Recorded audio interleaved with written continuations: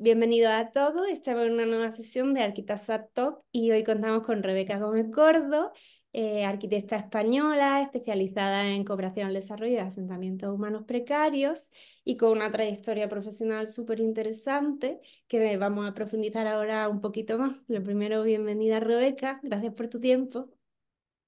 Muchas gracias Ana, es un placer y un honor también estar aquí charlando un poquito contigo.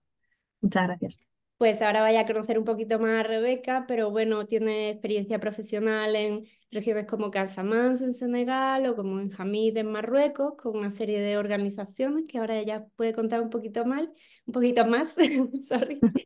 Y, y, bueno, desde 2016 forma parte de INBAU España, eh, actualmente como coordinadora de una serie de proyectos. Y para los que no conozcan INBAU, pues la, la red internacional de, de, construcción, arquitectura y urbanismo tradicionales. Es una red que incluye individuos e instituciones a nivel internacional, pero que, bueno, en España tiene su propio capítulo, ¿no? Que es INBAU España. Y como su propio nombre indica, busca eh, profundizar en el conocimiento de la arquitectura, urbanismo y, y construcción tradicional, eh, la cual tiene un impacto y una importancia muy grande en la, la preservación de identidades, en la construcción del sentimiento de arraigo de, las comunidades y, por supuesto, es una, eh, un conocimiento que es muy importante eh, trasladar al futuro, ¿no? Como una herencia eh, cultural. Así que con esta misión internacional, INBAO España colabora con un montón de un montón de iniciativas y con otras instituciones como la Fundación de la Industria de las Culturas Constructivas y tradicionales y hay unos proyectos muy interesantes como la red internacional, la red nacional de maestros de la construcción tradicional, la revista de las eh, tradiciones constructivas y el urbanismo y bueno, una serie de eh, proyectitos y premios que que potencian eh, este conocimiento, ¿no? Así que bueno, eh, muchísimas gracias de nuevo, Rebeca. Y como hay tantas cosas de las que hablar, tantas iniciativas, tantos proyectos y tu, propia, eh, tu propio recorrido es muy interesante, lo primero que me gustaría es que contase un poquito sobre tu recorrido, ¿no? Cómo estudiar arquitectura pasa a estudiar cooperación al desarrollo y asentamientos humanos precarios y cómo esto te lleva a trabajar en Senegal, Marruecos y a llegar a Imbao.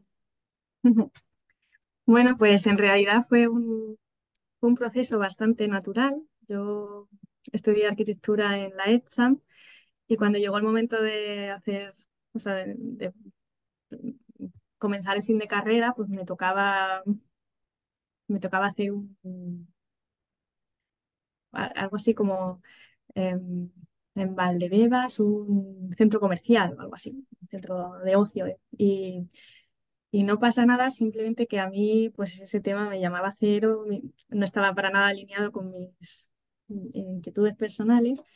Y justo en ese momento pues encontré el ICHAP, que era el curso de, posgrado de cooperación al desarrollo, a través del cual podría hacer un PCC eh, un poco enfocado en estos temas más eh, sociales, en otros contextos y que me llamaba muchísimo más la atención y allá que fui.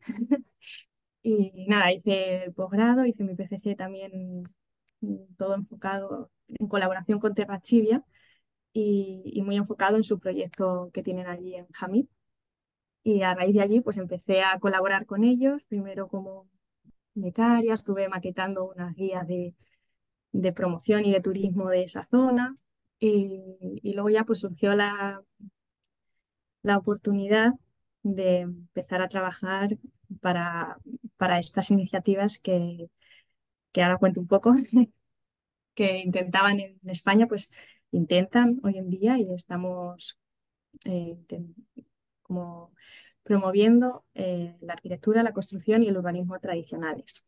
Esto, eh, como has dicho bien, el INBAO es una red de instituciones, de personas que, que tienen unas inquietudes por este tipo de arquitectura, de construcción y de urbanismo, que, que tiene un poco más que ver con la tradición de cada sitio, con los materiales de cada sitio, con el saber hacer de cada sitio, en un contexto en el que hoy en día, pues eh, la misma vivienda te la puedes encontrar en Singapur y en, en un Bajada onda. Sí. Entonces, un poco esto, que como ir a, a promover este tipo de, de intervenciones, de proyectos que, que tienen un poco más en cuenta el lugar. Y, y nada, y pues aquí seguimos. O sea, ahora sí que en España hemos creado la Fundación Culturas Constructivas Tradicionales y a través de ellas estamos haciendo estas, organizando estas iniciativas que se vienen desarrollando en algunos casos desde 2012 y luego en 2016 eh, aparecieron otras muchas gracias a... Bueno, todo esto lo, lo financia un, un americano, Richard H. Driehaus, que, bueno, si quieres te cuento un poco cómo empezó Cuenta todo, todas estas claro, iniciativas y cómo hemos llegado hasta ahora. Pues en 2012, eh, Rafael Manzano Martos, que es un arquitecto eh, español de Sevilla, que, que tiene un largo recorrido pues, en temas de patrimonio, de, de construcción tradicional y clásica, ganó el premio Driehaus Internacional, que lo da pues, un, un americano, eh, Richard H. Driehaus, y, y bueno, y que con él pretende dar visibilidad a un tipo de arquitectura que, pues, que no sale normalmente en las revistas, que no tiene tanto, bueno, Tanto tanta, quizá, ¿no? Sí, pero es igualmente válido, igualmente contemporáneo y, y, Mm, y bueno, y entonces a raíz de eso, de que ganó Rafael Manzano, pues este hombre se enamoró un poco de eh, la tradición constructiva en España, especialmente Sevilla, él se lo ganó Y lo metió en el bolsillo. Sí, y decidió, decidió instaurar un nombre, o sea, un premio en su nombre aquí en España, y es el premio Rafael Manzano Martos de Nueva Arquitectura Tradicional, que viene premiando desde, desde entonces, desde 2012, a arquitectos que ya tienen un recorrido de más de 10 años, o sea, una larga trayectoria en estos temas, en, re- en Mm, restauración del patrimonio y sobre todo nueva arquitectura tradicional, o sea, construcciones que se están haciendo hoy en día de cero, pero que siguen teniendo en cuenta pues esos materiales locales, esos saberes tradicionales, esas formas, mm, todo lo que tiene que ver un poco con la tradición de cada lugar. Mm, entonces, pues a raíz de esto se empezaron a, se empezó a ver necesario eh, involucrar a, a, pues a tanto a estudiantes que salen de la carrera y que en la carrera no se les ha hablado de estos temas, pues ¿por qué no involucrarlos? Eh, hacer un, un seminario al, año en el que se hable de estos temas en la, universidad, unas publicaciones. Eh, bueno, todo esto fue creciendo hasta 2016 en el que, bueno, esto lo lideraba Alejandro García Armida, lo lidera todavía, y empezó a proponer nuevos proyectos para que se fuesen incluyendo, se fuesen montando en el carro estos otros, eh, estas otras personas profesionales que son igualmente importantes para que esta arquitectura eh, siga viva y siga creciendo. Y entonces se instauraron los premios Richard S. Driehaus de las artes de la construcción y la red de maestros que se enfocan los dos en, estos perfiles que son pues to todo tema de oficios tradicionales, carpinteros, canteros, herreros, que dan que son los que permiten que este tipo de arquitectura se siga construyendo de una forma eh, pues también que, que, traiga, o sea, que mejore la economía local, que involucre a, a los maestros que están en cada sitio. Y, y, bueno, además de eso, pues también se vio necesario crear un concurso de arquitectura también con el nombre de Richard Driehaus, que también intentaba pues que estos nuevos proyectos que tiene formato de concurso de ideas, entonces se enfoca mucho en arquitectos jóvenes, pero que es bienvenido eh, cualquier estudio de arquitectura que le interese en estos temas, eh, pues estaban un poco enfo enfocados en que estos proyectos sigan hoy a la orden del día y sigan pues teniendo eh, concursos y plataformas en las que presentarse, ¿no? Claro. Y así, y todo esto sigue funcionando eh, hasta hoy en día. Sí que eso, pues se ha instaurado ya la Fundación Culturas Constructivas Tradicionales para empezar a gestionarlo desde España, porque antes los gestionábamos desde, desde Reino Unido y era, pues de forma operativa es mucho mejor ya tenerlo aquí, claro. pero seguimos en estrecha colaboración con Inbau, mm. la, la, red general y, y Inbau Portugal, eh, por ser nuestros vecinos, también muchas de estas iniciativas tienen carácter ibérico y, y las hacemos en, bueno, en sintonía con ellos y con, trabajando con, con nuestros compañeros. Has dicho un par de cosas que me parecen interesantes. Eh, una es el concepto de nueva arquitectura tradicional, ¿no? Porque para algunas personas el, el- el aparecer la palabra tradicional eh, puede que lo entiendan de una manera como que no es parte de, de la cultura actual arquitectónica o que no puede tener, dar, dar eh, respuestas a problemáticas para el futuro, cuando un poco todo lo contrario, ¿no? Es tomar eh, el conocimiento aprendido y experimentado durante generaciones y con ello diseñar una arquitectura válida para hoy, válida para el futuro, ¿no? Mm, Entonces, eh, Sí, no, totalmente como dices. De hecho, el, el propio hecho de que nueva y tradicional, nueva arquitectura tradicional vayan juntas, hay mucha gente que le chirría, pero para nada, al contrario. O sea, esto significa que, que, que la arquitectura tradicional siempre ha estado en evolución. O sea, hoy ha llegado a nuestros días pues en cada pueblo se construye eh, los muros de una forma, pero esa ese mismo hecho ha sido una constante evolución en temas de materiales, lo que había disponible en cada sitio, en cada momento. Y, y es una evolución continua. ¿Y por qué hoy, hoy en día, hay no podemos. Claro, ¿por qué no podemos usarlos? Es que al revés, si tiene, si sabemos que llevan funcionando desde hace tantos siglos, ¿por qué no lo tomamos como modelo de éxito, ¿no? Que, que, que muchas otras eh, sistemas constructivos que hoy usamos pues son tan nuevos que no sabemos ni cómo se van a comportar en el año, en, en unos cuantos años. Pero precisamente con estas técnicas sabemos que llevan, si se hacen bien, lle- llevan funcionando siglos y los pueden continuar como tal. Nada, tranquila. Bueno, pues nada, seguimos por donde nos queda. Estábamos hablando de la nueva arquitectura tradicional. Y, y bueno, otra cosa que has dicho que me parece muy interesante al nombrar la iniciativa es cómo va intentando eh, ocupar, ¿no? estos huecos detectados sobre cómo, cómo eh, se puede impulsar esa arquitectura y ese conocimiento para que aporte a la profesión de la arquitectura. Entonces, tenemos desde premios de arquitectura para un poco dar soporte a los arquitectos que se están atreviendo a, romper un poco con lo establecido convencional en la actualidad, a una red de maestros para poner en valor los oficios y al artesano de esa, de esas culturas constructivas.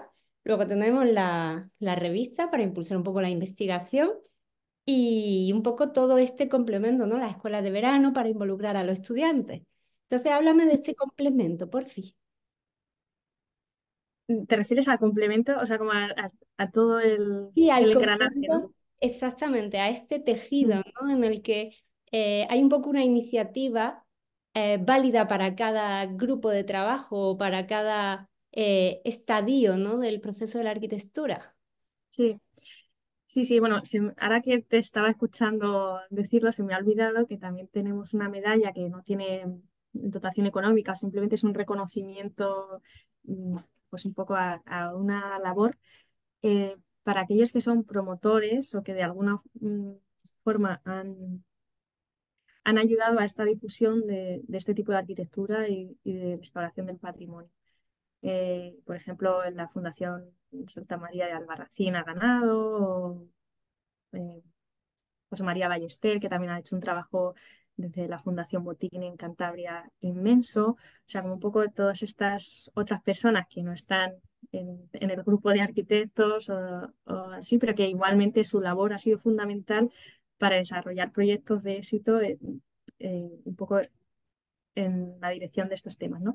Pero bueno, voy a contestar ahora la pregunta que me has hecho. Y, y es curioso porque tiene mucho sentido, eh, lo vamos viendo según pasan los años, ¿no? Que, que en realidad todo está entrelazado, o sea, que los estudiantes de nuestras escuelas de verano luego son, mm, llegan a tener alguna mención o luego se presentan al concurso de arquitectura y esperamos que un día lleguen a ganar el premio Manzano, ¿no? Pero es que además todos esos artesanos que vamos premiando eh, año tras año, pues participan en esas escuelas de verano para que los estudiantes tengan un conocimiento directo y puedan tocar el material y saber cómo funciona, aunque sea una, una- un momento corto, ¿no? Pero también tenemos unas becas de formación entre eh, esos premiados, pues a- se, eh, se une con uno de esos premiados un aprendiz durante un año para poder empaparse también de esos saberes y continuar con el oficio, ¿no? O sea, como que Esa convocatoria estaba abierta hace un mes, creo, ¿no? Sí, bueno, es que esas, eh, las becas van, este año, eh, en vez de ser un año completo, pues han dado dos becas más pequeñas, además una que nos ha concedido el Ministerio de Cultura a través del IPC, eh, que se forme otra, otra persona con Luis Prieto, que, que, ya había sido premiado en 2019. Y, y es que estamos viendo que, que es un, que es una herramienta muy potente para que, para que estas, estas nuevas generaciones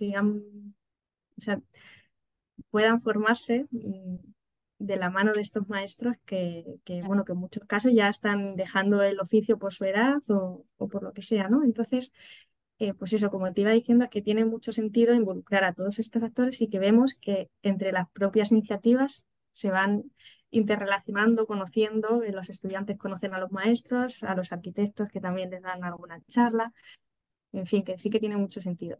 De ahí surgirán además muchas colaboraciones profesionales, porque entiendo que esos arquitectos que han formado como estudiantes parte de las escuelas de verano eh, y que han conocido a esos maestros de la construcción, cuando un día vayan a estar desarrollando su propia arquitectura, van a echar mano de artesanos, con lo cual se mantiene vivo el conocimiento, eh, no solo por seguir dándole trabajo a estas personas que, que tienen esta experiencia profesional extensísima de décadas, sino también para que ese conocimiento pase de una generación a otra, porque si no, cuando se muere, muere el conocimiento, si no hay aprendices, no, no podemos continuar, ¿no? Entonces, eh, ese, es, es, ese complemento, esa interrelación humana que dice, al final es una red de colaboración profesional, eh, uh -huh. generacional también, ¿no? Que hay como este constante eh, los más jóvenes eh, aprenden de los mayores, luego los, serán mayores y trabajarán con,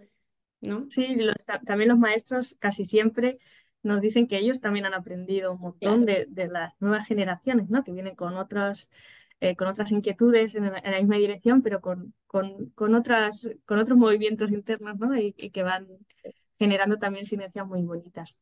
Luego también, por ejemplo, el, el tema del, de la revista, del Journal of Traditional Building Architecture and Urbanism, eh, es una forma de que estamos acostumbrados a que las revistas científicas sean una cosa que corresponde a los académicos y que si no estás en esos ambientes de, de investigación o, o, no te interesan esos temas, pues muchas veces no te metes a, a, a profundizar en, en, ellas, ¿no? Y sin embargo, lo que hemos querido también es en esa revista, pues que no solo haya no solo estén los académicos con artículos científicos, sino que los propios maestros tienen varios, eh, varios artículos en los que cuentan pues, eh, alguna técnica en concreto o alguna obra en concreto que ha sido de mm. éxito, o sea, reconocida y tal. Y, y es también, pues, en este sentido, otra interrelación claro. eh, para que se conozcan entre los diferentes grupos de, de claro. que al final están todos remando en la misma dirección, ¿no? Exacto, Creo que mucho sentido lo que acabas de contar, porque muchas veces solamente acaba haciendo investigación quien está haciendo carrera de investigador. Eh, y, y, esa, y tienes que delegar la responsabilidad en esas personas que están haciendo esa carrera para ir absorbiendo conocimiento, conocimiento generado por otros, ¿no? En base de práctica, error, experiencias, pruebas, pruebas, eh, y, y, y parece un poco como injusto, ¿no? Que al final eh, ese conocimiento tenga que pasar por el trabajo de, desengra de, de desengranaje y, tejido de otro eh, para, poder llegar al público, ¿no? Eh, entonces. Poner a estos dos lados, el que tiene la experiencia de las manos y el que está intentando entender y conectar todo ese conocimiento. Ponerlos juntos en un mismo documento me parece súper sabio y lógico, pero es algo que no se hace habitualmente. Sí, pues eso fue una idea que surgió en la pandemia y desde 2020 eh, se publica esta revista, esta además es accesible, gratuita. Incluso los, los eh, libros impresos se pueden adquirir de forma gratuita, simplemente mm, pagando los gastos de envío. Porque sí que, pues bueno, como esta eh, tenemos, eh, podemos hacerlo gracias a esta donación que hace Richard Driehaus, que no he comentado que ya falleció, pero que sus iniciativas siguen adelante. pues bueno, ya que tenemos la oportunidad de, abrir este conocimiento y darlo gratuitamente, pues nosotros encantados de, facilitarlo. Ya sabemos lo que voy a estar haciendo cuando acabe esta entrevista. Vale, Pues eh, bueno, volviendo un poco a retomar tu, tu recorrido profesional y con todo esto que nos has contado, eh, parece evidente pensar que también tu visión de la arquitectura ha podido ir cambiando a lo largo de los años, ¿no? Porque eh, cuando uno está estudiando en la carrera, como hemos dicho, hay muchas cosas que se dejan fuera, que ni siquiera existen. Luego sale y empiezas no solo a tener una formación específica, sino experiencia en terreno y después ya entrar en contacto con, con todos estos proyectos, iniciativas, premios, formaciones. Entonces, tengo curiosidad por saber, y creo que el público también, eh, cómo tu visión de la arquitectura cambia y sobre todo, qué mirada has dejado atrás que ya no te interesan. Aunque cuando estudiabas ya, creo que nos pasa un poco a todos, ¿no? Te chocas con ese muro de decir, esto no es para mí arquitectura, no tengo ningún interés en trabajar en ello. O sea que tú ya desde edad temprana creo que tenías un poco clara una Mm. visión, pero cuando comienzas a meter conocimiento en esa visión, siempre también la mirada se transforma, ¿no? Entonces, bueno, ¿qué has dejado atrás y cómo miras al futuro de lo que es la profesión de la arquitectura? Bueno, qué pregunta. ¿Qué he dejado atrás? Lo tengo muy claro, ya lo, lo has, lo has, lo has iniciado tú un poco y es que, bueno, que yo también estuve trabajando en un estudio corriente de una ingeniería, o sea, que, he pasado por todas las eh, facetas que puede tener un arquitecto y claramente eso no es para mí, pues porque no, a ver cómo decirlo, o sea, sin ninguna intención de, menospreciar las personas que estén ahí, que también son súper necesarias, pero a mí esta arquitectura tradicional eh, me ilusiona en el sentido de que, que veo que hay mucho recorrido detrás, ¿no? Que es como continuar un legado que se nos ha dado y, y tú tienes en tu mano poder seguir con él, poder, dando, poder darle valor a, a- eso que, que se lleva haciendo durante tantos años y que está funcionando, ¿no? Que por supuesto hay que adaptarlo, o sea, no quiero eh, que nadie piense que, que, que que vemos la arquitectura tradicional como una cosa estanca que no se puede mover, que tiene que ser así, así, así como viene siendo. No, porque la vida ha cambiado, las formas de vivir han cambiado, nuestras necesidades han cambiado, pero lo bonito es que se puede adaptar a, a- a todo lo que hoy necesitamos, ¿no? Que, que, eh, edificios públicos, que ¿por qué no se van a poder eh, construir edificios públicos con estas técnicas? Claro que sí. Eh, todo, es que desde, desde la vivienda más eh, pequeña de una familia a la obra más grande puede intervenir la arquitectura tradicional. Por supuesto que, que no lo pretendemos, ¿no? O sea, como que sigue siendo importante que haya otros tipos de arquitectura y, en los aspectos en los que funciona, pues adelante. O sea, no, que, que- que una cosa no quita la otra para nada. Al revés, lo que creemos es que las dos cosas pueden convivir perfectamente, eh, compartir al final, eh, pues eso, detalles constructivos que no funcionan en, en- en algún aspecto, pues igual puedes recurrir a, a técnicas tradicionales o a otras más modernas, ¿por qué no? Mm, O sea, yo esto lo veo como, como eso, o sea, mirando hacia atrás eh, el valor que tiene, ¿no? Y, y mirando al futuro con una ilusión y, un, y una convicción de que, de que sigue siendo eh, igualmente válida, ¿no? Para, para nuestros días, o sea, para, para el día de hoy. Y, también un poco en cuanto a los oficios, eh, pues es un, es un valor añadido incalculable. O sea, el hecho de que, de que estas personas, igual que tengan una trayectoria familiar o no, están aportando a, a la arquitectura eh, una, una forma de entender pues, el cómo construir, eh, cómo se hacen las cosas, cómo funcionan mejor en cada sitio, o mm. sea, cómo se tiene que adaptar a, a, a las diferentes eh, lugares en los que se interviene, ¿no? No sé si he contestado. Sí, por supuesto. No, estaba yo pensando al mismo tiempo que, em, que es hasta como desde un modo egoísta podríamos verlo, ah, como cuánto tiempo me puedo ahorrar. No hay que reinventar la rueda cada vez. Hay tanto conocimiento ya constatado.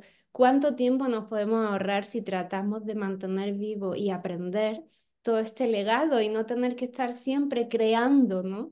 Eh, que, que parece como que los arquitectos, como somos creativos, tenemos que estar siempre creando sistemas constructivos y técnicas constructivas, cuando estamos a lo mejor eh, olvidando que todo eso está ya ahí, que es tiempo que nos ahorramos, que está constatado, que solo hay que adaptar, ¿no?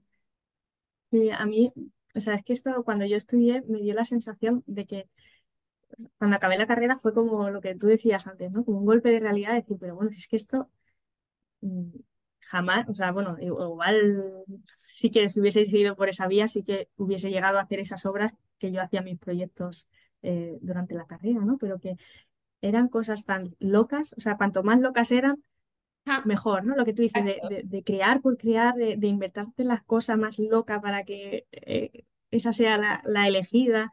mm, Y, y bueno, ya quitando todos los temas de, de nervios, estreses, eh, eso ya todo lo que es, lo- todos los que estamos en este mundillo lo, lo hemos vivido de una forma u otra.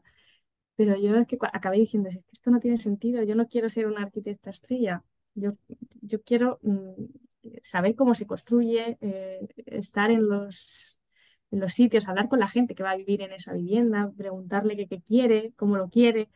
¿no? Un poco...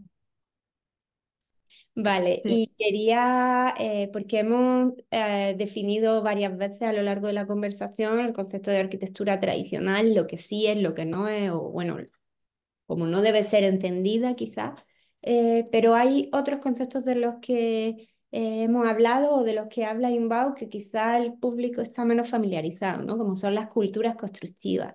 Entonces, ¿cuál crees que es la definición más apropiada de cultura constructiva y, mm, y un poco cómo la, cómo resumirías para alguien que no esté familiarizado con qué abarca? Y abarca, pues abarca, abarca todo lo que tiene que ver con la arquitectura, desde cómo es el diseño de, edificio, obra, mm, vivienda, lo que sea, o sea, cómo es el diseño, porque en cada lugar se hace de tal forma que, que está adaptado a la climatología, al sistema constructivo, a- a los materiales que hay disponibles en el lugar en ese momento, ¿no? O sea, como el diseño, también, eh, pues eso, la forma de construir, con qué se construye, cómo se construye, a quién se involucra en esa construcción que, que muchas veces, pues, eh, sí, en cada lugar es diferente. Como, diferente, eh, pues eso, hasta incluso la forma de usarlo después, ¿no? Como, como en cada lugar eh, mm, Sí, por ejemplo, si pensamos en cocina. ¿no? La, la cocina, eh, todos sabemos que cada lugar se come diferente y se cocina diferente, pero quizás no pensamos en que el espacio de la cocina debe de ser diferente, eh, como que no viene tanto a nuestra cabeza quizás, ¿no? Entonces, eso no solamente implica los sistemas constructivos que vamos a emplear, porque aquí hay tierra, aquí hay piedra, sino eh, cómo de la identidad cultural de un lugar eso también crea un tipo de espacio diferente, ¿no? Entonces la cultura constructiva se entiende que no es solamente el, el hecho de construir, sino el por qué esto se construye así, eh, para quién es, cómo va a ser usado, ¿no? Es decir, al final, Exacto, sí. hablando de cultura en torno a la construcción. Sí, esto, vamos, yo lo, lo he visto mucho, tampoco, o sea, ha- habrá quien haya mm, trabajado en muchos más sitios, ¿no? Pero yo tengo muy claro la, a mí me marcó mucho las experiencias que he tenido tanto en la Casa Mans, eh, que fui con una ONG de Barcelona pequeñita, a, bueno, intervenir en una escuela, eh, como todo el trabajo que he hecho con Terrachidia, que ahora mismo no estoy activamente colaborando con ellos por temas personales, eh, un bebé y así, pero, em, pero cómo ha marcado esa diferencia cultural en cuanto estás allí viviendo con ellos mano a mano, te das cuenta de que no puedes ir con tu mentalidad, mucho menos de la escuela, sino que tienes que ir a vivir con ellos, a entender que, que la cocina nunca la tienen, como dices tú. En el caso de Senegal no lo tenían cerca de la casa, sino que siempre era un, un elemento aislado, el por qué, cómo comen, que se congregan todos en torno a un plato, en, en las dos culturas en este caso, ¿no? Pero eh, claro, cuando te das cuenta de que no puedes ir con una mirada así, sino que eh, cuanto más la abras, más rico va a ser tu aporte, tu, tu, si estás proyectando, proyectando, si estás construyendo, construyendo, eh, que, que lo importante es ir eso, con la mente abierta, con el ojo abierto y, y- y no con nuestras ideas preestablecidas, ¿no? Sí, Un poco. Y en, en la definición de Inbau precisamente habla de, de cómo puede contribuir a la creación de identidades o al mantenimiento de identidades eh, y de sentimiento de pertenencia a un lugar. Y creo que esa frase del manifiesto, ¿no? Si lo puedo llamar manifiesto, eh, está muy ligado con esto que estamos hablando ahora mismo, ¿no? Eh, no es lo mismo comer toda la familia juntas alrededor de un plato con las manos y cómo, cómo ese espacio va a funcionar, cómo la gente se va a mover en él, ¿no? Que tratar de repente de, no, es que esto somos una organización y estamos diseñando estas casas, eh, que, claro, y cambiar esa identidad. eh, no, no tiene sentido, ¿no? Entonces, em, claro, como el conocimiento una arquitectura tradicional y en el término cultura constructiva, como aporta a, esa, a ese mantenimiento de la identidad de cada sitio, ¿no? Em, hemos traído este ejemplo de la cocina, pero hay muchos más que, que nos Sí, puedan dar una pinceladita. sí, hay muchos más. eh, No hay más que ver nuestras ciudades, nuestros barrios nuevos, o sea, ya volviendo un poco al, al contexto que tenemos más cercano, o sea, no hace falta tampoco ir- irse muy lejos, ¿no? Pero como eh, los barrios eh, más periféricos de nuestras ciudades cada vez, se parecen más entre ellos, da igual que estés en Galicia que estés en Sevilla. Eh, Las construcciones cada vez tendemos a, utilizar los materiales más punteros, que son al final los mismos en todos los sitios. Entonces, eso es lo que produce que, hayamos perdido un poco el, detalle constructivo que ha dado lugar a las ciudades en concreto, ¿no? Y al urbanismo también, claro. y al urbanismo, exacto. O sea, cómo, cómo afectan las, las calles eh, en función de, de- de- de cómo las diseñes, eh, cuánto protagonismo des al coche, cuánto protagonismo des al, al peatón, ¿no? En, casi siempre en recurrir a los modelos que han funcionado dentro de esa misma ciudad un modelo de éxito y sin embargo, pues hoy, hoy pues tendemos a, a- a diseñar las mismas secciones de calles en cualquier ciudad de toda España, lo mm. cual no tiene ningún sentido porque en unos necesitas taparte del sol y en otros necesitas precisamente buscar ese rayito de sol, ¿no? O sea, como, Sí. Pues es un poco poco, la, la- a mí me da mucha pena la- qué homogéneo se está haciendo todo y, y con qué facilidad estamos perdiendo la riqueza que tiene cada una de nuestras ciudades, pueblos, ¿no? Como Claro, al final estás con el denominador común y estás rechazando todo lo que te hace diferente o especial. Sí, sí, sí, Sí, un poco eso con, con la, con la... Y eso es que yo en la carrera, por ejemplo, no, no- lo he visto claramente, que a, a mí no me hablaron de esto. Y si te hablan luego la- lo que, el modelo que te enseñan no, no, no tiene nada que ver con lo que te están diciendo de palabra, ¿no? Eh, bueno, claro, bueno, que este es un tema como... sí.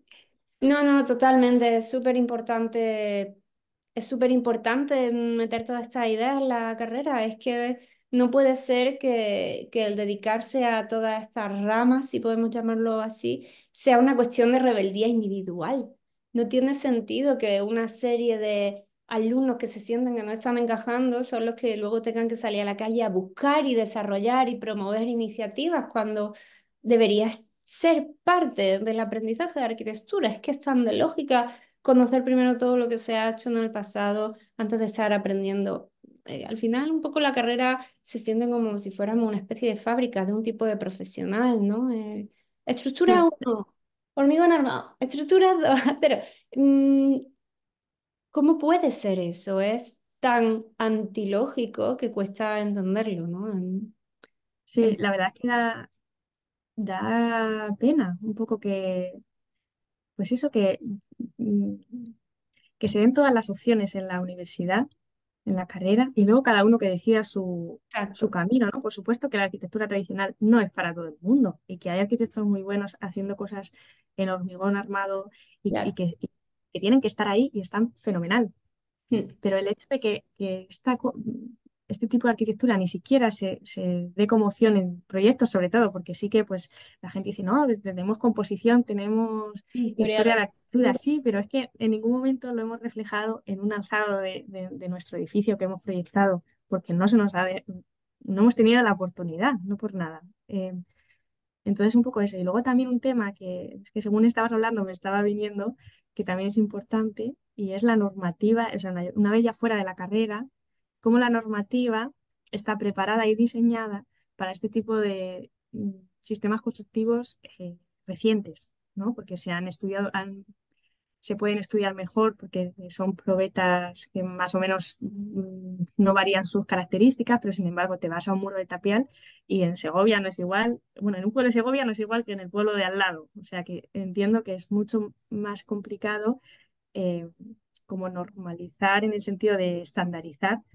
eh, todas estas otras técnicas tradicionales para que tengan también eh, pues una normativa Claro. a la que se puedan acoger los arquitectos de hoy en día, que eso también es un hándicap enorme. Exacto.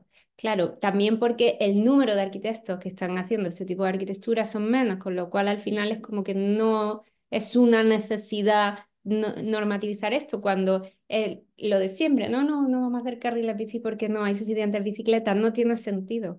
Em, y tenía aquí, como estaba mirando así de reojillo, qué más te quería preguntar, y tenía aquí, ¿cuáles son los mayores desafíos a los que se enfrenta?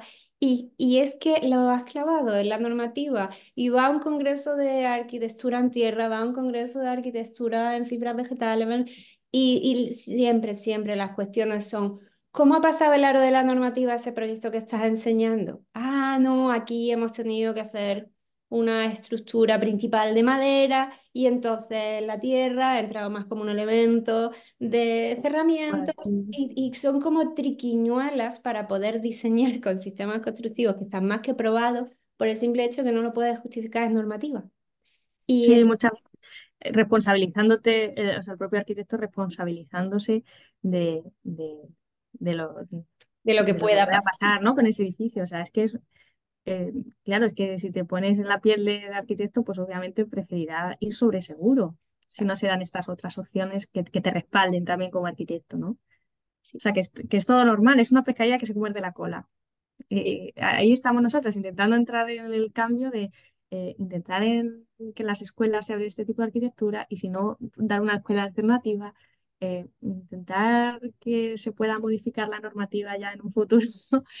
Pero bueno, es un trabajo que hay que ir haciendo poco a poco y que, y que ¿por qué no? Algún día eh, estará, bueno, será posible con un respaldo. Mira, el, la semana pasada, hace dos semanas, estuvimos con con un arquitecto italiano que nos decía que, él estaba viendo que también una limitación muy importante a la hora de construir con técnicas tradicionales es el propio urbanismo en cuanto a que nosotros medimos desde hace muchos años eh, nuestras superficies como metros construidos y metros útiles, ¿no? O sea, o sea, como metros construidos, me refiero, cuando te dicen la edificabilidad, eh, pues es la que es y cuenta el muro. Entonces, ¿qué pasa? Que si tú coges un muro, eh, o sea, que no puedes comparar un muro tradicional de mampostería con un muro actual con la estructura de hormigón, madera o lo que sea, ¿no? Entonces, pues que hay muchos impedimentos. Pero que bueno, que igualmente es posible hoy en día tener en cuenta la arquitectura tradicional y, y en esa dirección estamos trabajando. Y ahí ya nos metemos a hablar de la mercantilización del suelo y la mercantilización de la arquitectura y que todo tiene que ser eficiencia económica y entonces ya, claro. Pero bueno, En fin, muchas cosas que hacer y quizá esto de la normativa puede ser uno de esos proyectos más de inbound que, que acaben complementando uno a otro, ¿no? Es decir, no, vamos dar aquí el documento básico de construcción en tierra. Em, sí, creo que efectivamente ese desafío, el, el de lo que más se observa y es muy importante que todo el mundo trabaje junto para intentar dar un documento base que algún día pueda aspirar a ser norma, ¿no? Y, y bueno, vamos a ir ya terminando. Yo creo que hemos tocado casi todos los temas. Se me queda aquí a lo mejor alguna preguntilla en el tintero. Pero bueno, como nosotras ya vamos a hablar más, egoístamente te las preguntaré. Eh, vale, pues vamos a hacer la preguntilla de cierre que creo que también hemos tocado temas, pero puedes extenderte un poco más ahora. ¿Y cuál crees que sería el gran valor que aportaría a la profesión si todo este bagaje eh, que tiene la arquitectura tradicional fuese una parte, ya no que se incluyera en la carrera de arquitectura, sino que fuese una parte de fuerza dentro de la carrera, una base sólida. ¿Crees que tendríamos hoy ciudades diferentes? ¿Crees que tendríamos profesionales diferentes? ¿Cuál es el gran valor que aporta este conocimiento a nuestra formación profesional? Pues sí, indudablemente eh, yo el, pilar fundamental que veo que, se ganaría es el tema de la identidad. Eh, ir un poco en contra de esta homogeneización de Mm, todos nuestros paisajes construidos. Eh, también veo muy importante eh, en, en esta identidad pues el, el tema de, de involucrar a estos maestros de la construcción que, que trabajan de una forma concreta con un saber ancestral, diría, o sea, de generaciones y generaciones atrás, que gracias a ellos pues, podemos entender muchas de estas técnicas. Eh, pues me parece importantísimo contar con ellos para que, que, que tenga un valor esta arquitectura, ¿no? Que- que- un valor y una identidad, como decía. Y,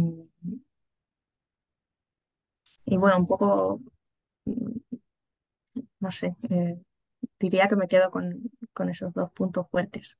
Sí, me estaba recordando lo que has dicho del el valor que aportan estos maestros de los oficios a la arquitectura.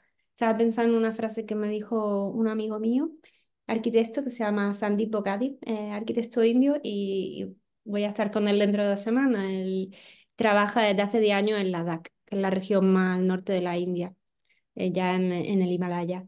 Y, y claro, él lleva 10 años trabajando en la misma región y ha podido ya conocer a muchos buenos maestros de la construcción, ¿no? Y me decía, es que el mismo diseño eh, hecho por un, ejecutado mal y ejecutado con sabiduría son dos proyectos diferentes. Y es verdad, es que necesitamos buenas manos y necesitamos esta experiencia de saber ese pequeño matiz diferente del que puede hacer una cosa así o asado, cambia totalmente el resultado. Entonces no puede des- despreciarse la importancia de eso, ¿no? De ese elemento eh, de la mano y de la sabiduría ligada a la mano, ¿no? La mano que piensa al final. Em, el mismo proyecto con un buen maestro de la construcción o maestra y con, y con uno que no, no tiene toda esa overview, toda esa visión general de, de lo que implica, son dos proyectos distintos. Entonces, ¿cómo podemos no darle importancia a ese gran valor, ¿no? Em, Sí, algo que sorprende y que hasta que no te lo dice alguien, parece que no te para a pensarlo, ¿no? Entonces, por favor, incluyamos más a estos maestros eh, y a la sabiduría generacional. Sí, a ver, nosotros, eh, por ejemplo, el tema de la red de maestros fue una necesidad que vimos clara, o sea que, o sea, el, el fin último de la red de maestros, eh, para que los que no lo sepan, es un directorio eh, en el que se pueden buscar tanto por provincia en España como por oficio a los maestros que están trabajando en, pues en los, en los diversos lugares y oficios, ¿no? Y ya con el tiempo, o sea, esta herramienta empezó en 2016 y que es verdad que nunca jamás vamos a acabar con ella porque seguimos incluyendo eh, cada día nuevos maestros y esperamos seguir haciéndolo. Eh, pero lo que estamos viendo es que es una herramienta que se está usando tanto por arquitectos que están buscando estos, mm, estos trabajos, incluso por la administración, o sea, por gente que, que, pues eso, es que es un, es una herramienta que no existía hasta ahora y que y que permite que, que a estos maestros que están muchas veces olvidados, no olvidados, sino que ellos no tienen eh, pues la inquietud de que se les conozca y tengan la mejor página web para que salga el, el primero en Google, ¿no? Entonces, eh, hoy en día necesitan un poco de esto que se lo da la red de maestros para, para poder aparecer, ¿no? Para que sea noción, que hasta ahora no lo eran en, en algunos casos, ¿no? Porque están en un pueblo remoto de Soria y, y, ha funcionado mucho y allá boca a boca. Claro, hacen sus trabajitos allí, pero jamás le han llamado de más lejos porque no sabían ni que existía, ¿no? Entonces esta red pretende un poco eso, que esos maestros se les dé visibilidad en un siguiente escalón, pues puedan seguir formando a otros profesionales que, o sea, que en cascada vayan generando más conocimiento en torno a, a estos oficios. Como tú decías, que, que, es fundamental que tener también un equipo de, de, de maestros que conozcan las, bueno, las técnicas para, para hacer realidad eso que tú tienes en el plano. ¿no? Claro. Que con, un- con, un- con el hormigón está todo como más establecido o más interiorizado y sin embargo la arquitectura tradicional hoy en día también es igual de, de viable y de, tiene mm, grandes profesionales trabajando con ella y, y igualmente viable, vamos. Muy bien. Pues bueno, ya hemos echado aquí el ratito.